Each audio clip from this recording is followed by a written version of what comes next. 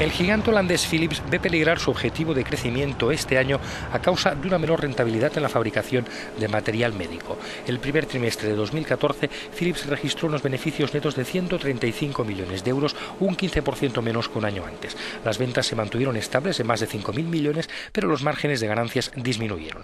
Hace 10 años, la multinacional de la electrónica inició un giro de los televisores y electrodomésticos hacia el material médico de alta tecnología, y su objetivo actual es aumentar las ventas entre un 4 y un 6% hasta 2016.